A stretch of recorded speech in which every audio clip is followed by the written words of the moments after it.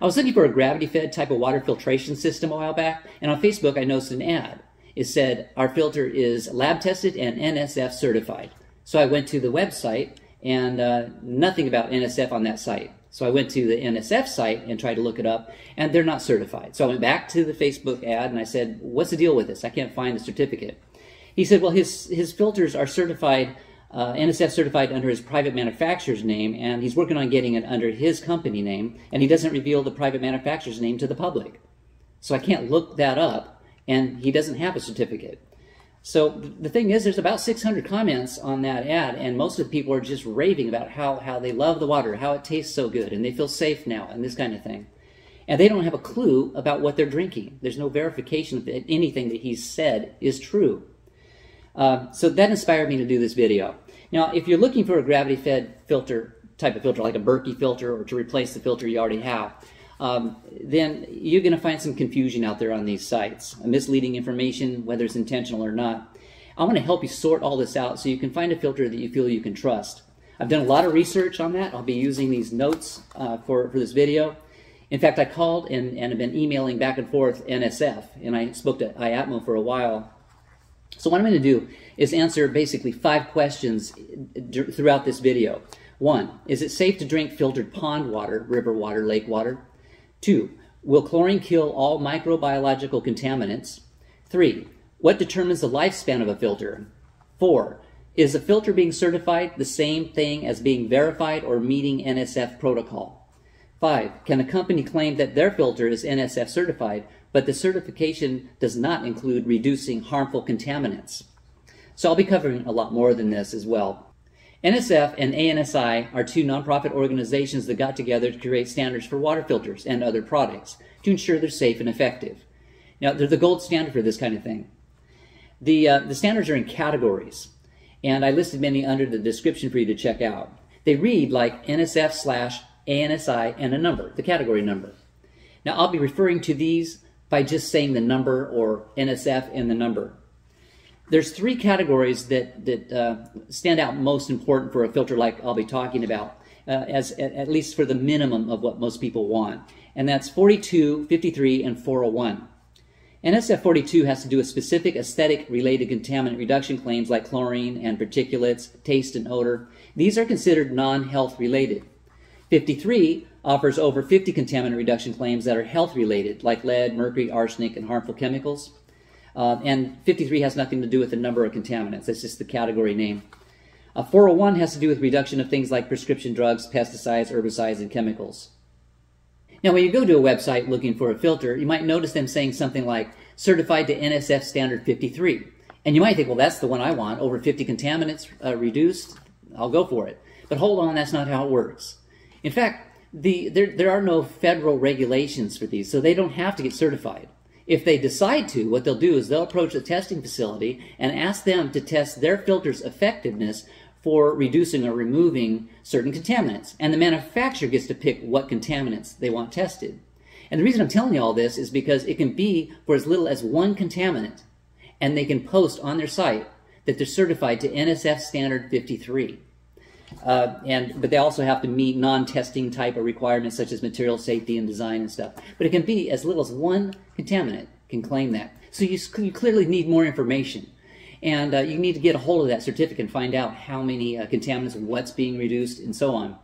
And so the first step you have to do is just find out who tested and certified it. The three leading accredited organizations that test and certify are NSF and IAPMO, which is IAPMO, and WQA.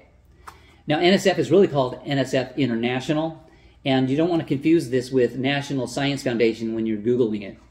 A certificate from any one of these organizations are all of equal value according to NSF. If a manufacturer uses one of these organizations, they'll be proud. It costs a lot of money. It took a lot of time. They'll, they'll post it right on their site. It probably, if it's IAPMO, it'll say IAPMO certified, NSF standard 53 or something like that.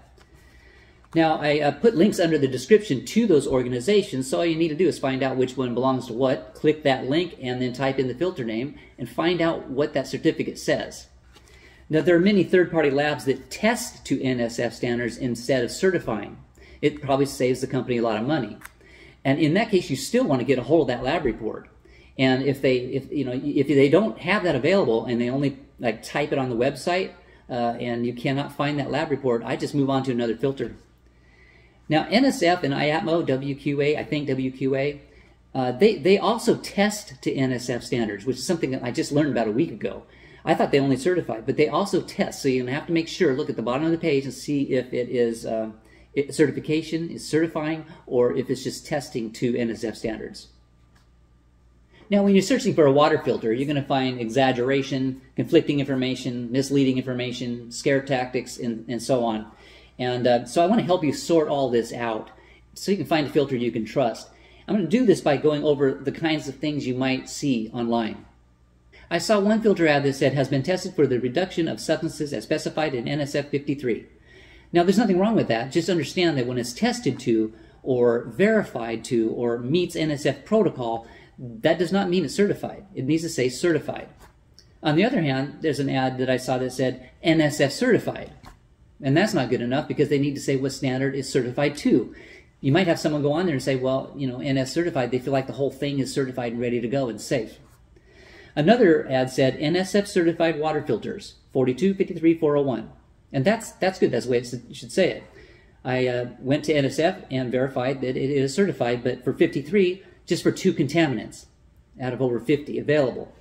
Now, sometimes you'll see three, four, or five would appear to be contaminants, but they're headings for many contaminants, like VOC. There are many contaminants under that. Uh, some sites you'll see at the bottom where the footnotes are, it'll say, do not use water from unsafe or unknown sources. And just before that, they might talk about how their filter will filter pond water, lake water, streams, creeks. So conflicting information. I've noticed more and more filters out there that are certified, both certified to NSF standards and tested to NSF standards. And when this is the case, it seems like they're certified to 42 and or 372. That's aesthetics like chlorine and the lack of lead in their container. But for the things that really matter, like contaminants, it's lab tested too. And sometimes they'll post it uh, like the uh, 372 here, and then they'll post the the uh, contaminants that are lab tested right next to it, and you'll think that that's certified for that. So now that I'm telling you that, maybe you, you know try to be more aware of that. It's very important to understand what determines the lifespan of a water filter, uh, filter capacity, gallon capacity. Otherwise, you might end up with a filter that's filtering far fewer contaminants than you thought for a much shorter period of time. Individual contaminants stop filtering so well to NSF specifications or at all at different points of time during the filtration process. For example, I'll be making these numbers up with my pretend filter. A chromium might not filter so well after 250 gallons, lead 300 gallons, mercury 400. One contaminant might filter really well up to about 5,000 gallons. So if you go to a site selling this filter, they're not going to show you those numbers. That you know they'll they'll be in the lab report, but uh, you might see 5,000 gallons, and if you do, it might say each filter can last up to 5,000 gallons for specific contaminants as tested by third-party lab data. Well, this could be misleading or at best easily misunderstood because some, some people may have seen maybe the previous page that lists out 100 contaminants by a third-party lab and they think those are the specific contaminants. And, uh, you know, think that they're going to get all of those filtered for 5,000 gallons when in fact it's not filtering at 250, 300, 400, you know, and so on, different contaminants. Now, a company might disclose that uh, the 5,000 gallons is based on one contaminant, maybe like chlorine, or something like this uh, somewhere on the page. It might be kind of far down the page or easily uh, found. But uh, in, in either, either, case, it could be very difficult to uh, understand exactly what's being said because that's the only number they see. They don't see the actual lifespan of the filter. Now, if, if, this, if this is actually certified to NSF standards, the lifespan's based on the lowest number that's been tested. Um, and I don't know how they do it. I think NSF, what they do is they take each individual contaminant and they run water through it and find out whichever one stops filtering the soonest. And that's the lifespan. If you look at my graph, of, uh, given the example I've given you about uh, the chromium, the lead, and mercury, you can see that all the contaminants are being filtered when it's new. But at 250 gallons, one drops off. So that would be the lifespan of the filter. Now, so the, the moral of the story here is whenever you go to a site and uh, one of the first questions you should ask yourself is how long will this filter last filtering all of the contaminants claimed by the manufacturer? Um, and also, if it's NSF certified, the lifespan of the filter has to be tested to 200% of the stated capacity, which is really good, a lot of cushion there. If it's electronic, it tells you when to replace a filter, like with an RO system or something. That needs to be 120% of whatever the manufacturer's um, stated capacity is. If it's important for you to have a filter that's NSF certified, uh, like it is to me, then uh, you might want to use three criteria that I would use. Uh, number one, that it's certified NSF standards 42, 53, and 401. Number two, it's certified by one or more of the three organizations I talked about only. Number three, it's certified for a substantial number of contaminants and things you want reduced, not just two contaminants. Okay, so I looked at nine filters online, very popular filters. There's many more out there, but I looked at nine and I only found one that matched that criteria. I was surprised. I thought there would be a lot more than that. Now, um, I make no money from the manufacturer for this filter or any filters I talk about on this video. This filter is the Patriot Pure Ultimate Water Filtration System with a nano mesh filter. Now, I'm not recommending this because I don't own it, but this would be a filter I would buy based on what I saw, the nine filters and the certifications. Says on their site, reduction rates are certified to 200 gallons by an ANSI certified independent laboratory using NSF standards. Well, that's what's missing on the pretend filter I was talking about earlier. The pretend one should say 250 gallons for their for the lifespan. Uh, it says up to 800 gallons for some contaminants. I, I, don't know why they do that. Who cares? After 200 gallons, are you going to drink the next 600 gallons thinking, well, it's not filtering so well, but I'm okay with that? I don't know why they do that. Um, after you're done with this video, please look under description. I'll have a thing called updates. Any mistakes I made, I'll post it there. Any filters I find that are similar to this one, I'll post it. But I'm counting on you to help me out with this, to keep this updated. So if you see a filter meeting my strict criteria, only that criteria, with a gravity, you know, fed type filter that I, have been talking about, post it in the comments and I'll put it up there under update so people can stay updated on what's uh, what's out there. And uh, if you if you happen to see one that is uh, tested to NSF standards by IAPMO or NSF, I might consider putting that under updates as well. I trust, I think, those organizations better than other third party labs. So, is it safe to drink filtered pond water, river water, lake water, you know, creek water, that kind of thing? Well, I have to talk about NSF 53 and P231 to answer this. Many companies claim that their filter removes viruses and bacteria uh, because their filters certified to or tested to NSF standard 53. Not 231, not 248, I'm talking about 53. Now, uh, 53 does talk about reducing harmful contaminants, but uh, it has nothing to do with virus and bacteria. Of the 50 contaminants I talked about at the beginning of the video that a, a filter company can challenge their filter to, none of those are virus and bacteria. NSF uh, emailed me on a few occasions reminding me because I, I kept asking them they said it does not address the treatment of bacteria or viruses. The scope of the standard is for water sources that are microbiologically safe, such as municipal water. So your tap water, it's been already, it's already been treated. Uh, P231 and 248 address reduction of viruses and bacteria, not 53. Now, the only microbiological claim associated with standard 53 is cryptosporidium, or oocyst or cyst.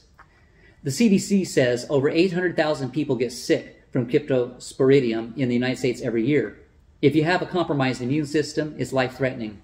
It can resist most common disinfectants, including chlorine, and can even be in municipal tap water that's been treated.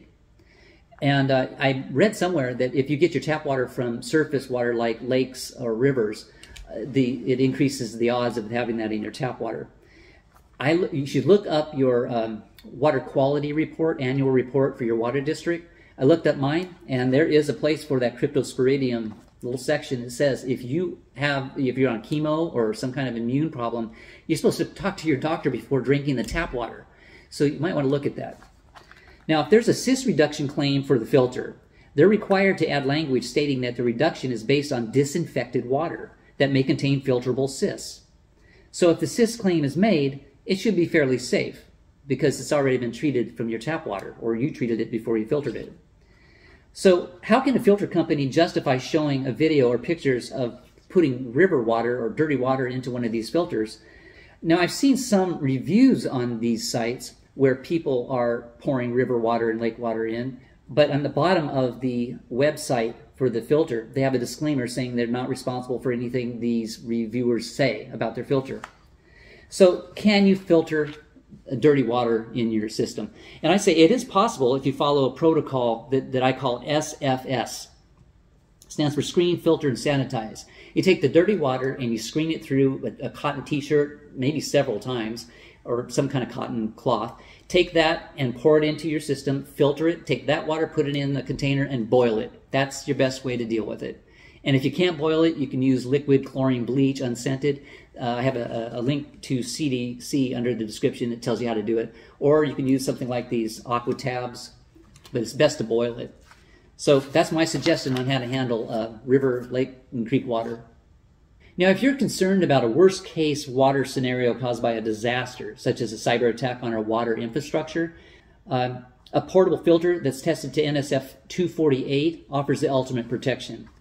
Now, this is the testing standard used by U.S. military for removal of viruses and bacteria, protozoa, sediment from worst case murkiest water conditions. There will be more viruses and sewage and that type of thing in a, in a disaster situation. I would not use one of these gravity type of water filters for that type of, of water. Um, the ideal filter would be something that's versatile, uh, portable, doesn't require power, and will last a long time. My MSR Guardian purifier is an example of a filter tested to NSF 248. It's very expensive, but it'll filter 2,600 gallons. And uh, it just sits in my bug out bag as, as an insurance policy, basically. I have extra parts for it in case it breaks.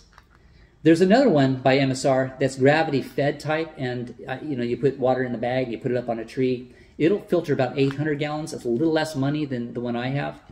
And it was developed for the United States military for challenging sources of fresh water virtually anywhere on Earth.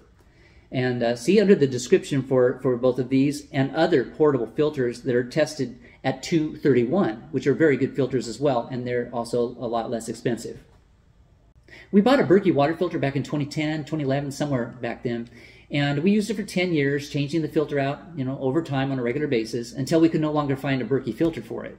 Some of you have experienced the same situation. So I started looking for other filters, and that's how I got the information for this video. But I also learned that generally speaking, certified or not, these filters do, I think, a pretty good job, most of them, filtering tap water.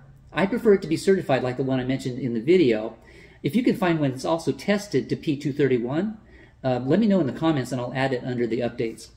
Now, after researching gravity filters and getting disillusioned by some of the shenanigans played by these sites, I started searching for reverse osmosis water filters, and I learned that they do a better job filtering water. So we decided to buy an AquaTru reverse osmosis filter instead. It's certified to NSF 42, 53, 58, 401, and P473 by IAPMO, and it's one of the most efficient RO systems out there. Now, I'll be doing a review on our AquaTru reverse osmosis countertop filter in the near future, so hit subscribe and notification if you want to see that. And if I've already done it, it'll, the link will pop up right here, right now. Uh, there's pros and cons to uh, gravity fed and these systems, and I think the pros outweigh the cons by a lot. I still thought it was valuable to do this video though, because I, I know some people can't afford the RO system or don't want one. And uh, so that's why I did this video. I'm hoping that this information has been helpful. Now, whether you decide on a gravity-fed type of water filtration system or reverse osmosis uh, tested to NSF standards or certified to NSF standards, it's going to be a lot better than drinking unfiltered tap water. If you enjoyed this video, please like it and uh, share it, and don't forget to subscribe. Y'all have a great day. Thanks for watching.